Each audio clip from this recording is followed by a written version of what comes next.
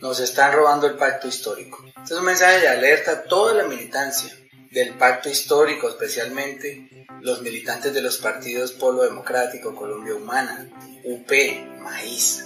Compañeros, compañeras, ustedes han visto cómo algunos integrantes del pacto histórico ya empiezan a alinearse con sectores de los partidos tradicionales y sectores corruptos de la política. Si nosotros permitimos que el pacto histórico termine avalando a los que han postrado a este país moralmente, nos desdibujamos como colectividad.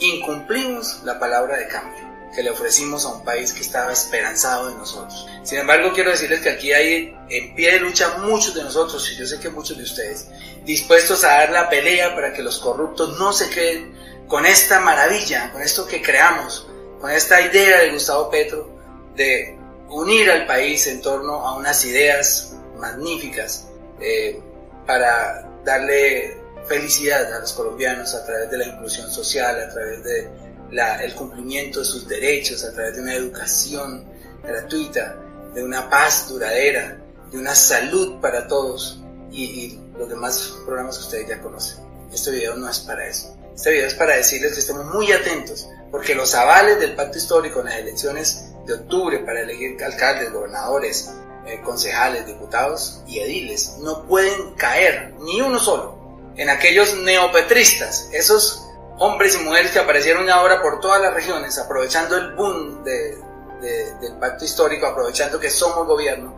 para decir que ahora sí Gustavo Petro no es un guerrillero, para decir que ahora sí Gustavo Petro es un estadista, para decir las maravillas distintas a las que decían cuando Gustavo Petro no estaba en sus eh, planes.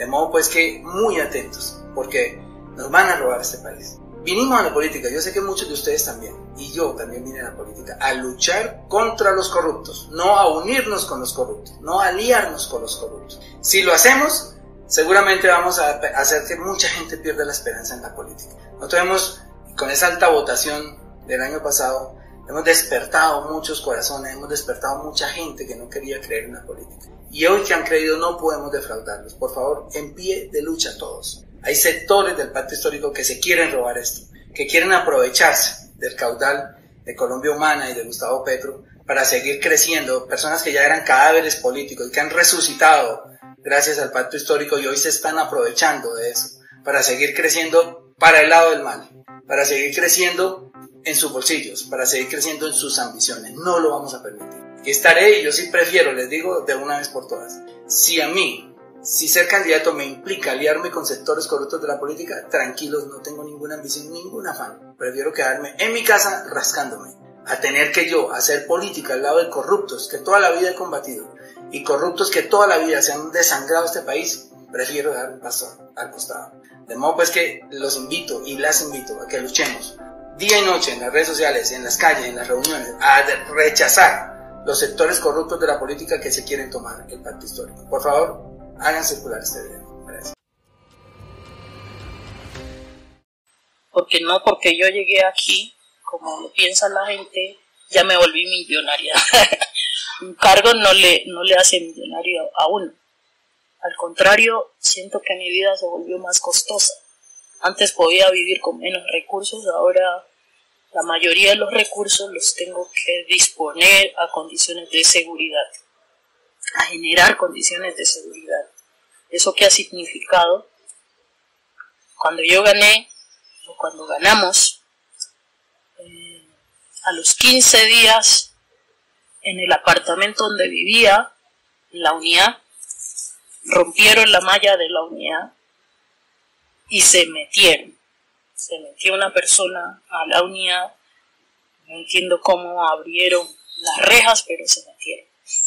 A la siguiente semana un carro tumbó la malla, se chocó con, con, las barandas de la unidad y la tumbó. Eso no había pasado antes de yo ser vicepresidenta y ya llevaba tres años de vivir en ese apartamento.